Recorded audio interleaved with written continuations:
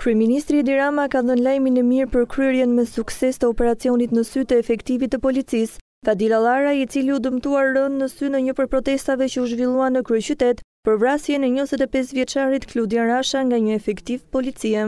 Kërkuam që të shkonte në Turqi për të bërë një ndërhyrje shumë të specializuar në një transplant të kornesë së syrit. për të cilin kemi marrë para pak lajmin se ka dalë me sukses. Gjatë një komunikimi online me Komitetin Shkencor të Pandemisë të Turqisë dhe ekspertë të Komitetit Teknik të Shqipërisë, Rama tha se garancia në këtë luftë kundër koronavirusit është pikërisht ky komunitet dhe jo politikanët. Kryeministri theksoi se ekspertët tanë janë në të njëjtin nivel përgatitje me kolegët e tyre në vendet më të zhvilluara.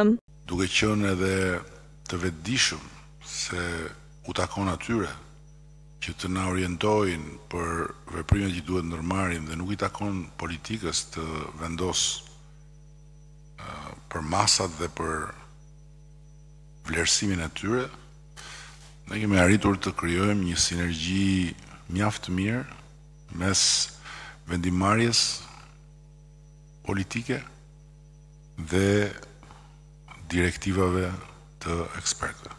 Profesori Rexhep Ozturk, anëtar i Komunitetit Shkencor të Pandemisë së Republikës të Turqisë, ka vlerësuar masat e marra dhe strategjinë e ndjekur për përballimin e pandemisë së Covid nëntëmbëdhjetë në Shqipëri, Ai deklaroi se aktualisht sistemi shëndetësor në Shqipëri është përshtatur me sukses me metodat e reja në luftën kundër Covid nëntëmbëdhjetë. Profesoreshë Mira Rakacolli në cilësinë e drejtueses së Komitetit Teknik të Ekspertëve, tha se strategjia e vaksinimit anti-Covid do të prezantohet shumë shpejt. Natyrisht kemi diskutuar edhe për vazhdimësinë, edhe për probleme që ne mund të përballemi në të ardhmen. Një nga këto probleme është edhe ajo strategjia jonë e vaksinimit, kemi diskutuar së bashku me kolegët turq dhe është një strategji të cilën neve do ta prezantojmë shumë shpejt.